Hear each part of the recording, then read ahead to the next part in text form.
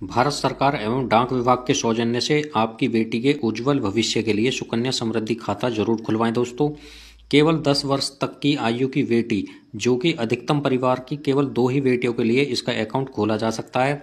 इसका जो खाता है, मात्र दो सौ यानी कि ढाई सौ से खोला जा सकता है और तत्पश्चात यानी कि अगली राशि आप पचास रुपये के गुणक में जमा कर सकते कहने का मतलब इसका ये है, दोस्तों, कम से कम जो अकाउंट है वो दो सौ रुपये से खोला जा सकता है और उसके बाद में आप इसमें कितने भी पैसे जमा कर सकते हो। मान लीजिए आप तीन सौ, चार सौ, पाँच सौ, एक हज़ार, दो हज़ार कितने भी रुपए आप इसमें जमा कर सकते हो। कहने का मतलब ये है कि साल में आपको डेढ़ लाख रुपए से अधिक की राशि इसमें जमा नहीं कर सकते हो। खाते की जो रकम है, खाता खोलने की तारीख से पंद्रह वर्ष पूरे होने तक जमा करने आपको होंगे। खाता खोलने की तारीख से 21 वर्ष पूरे होने पर या बालिका का 18 वर्ष के बाद में विवाह होने पर खाता की जो है मैच्योरिटी हो जाती है।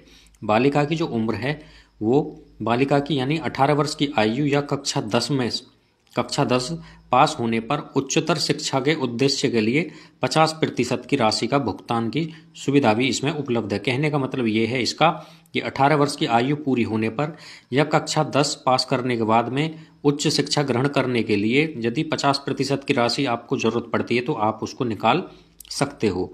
प्रतिवर्ष न्यूनतम यानी कि हर साल कम से कम दो सौ जमा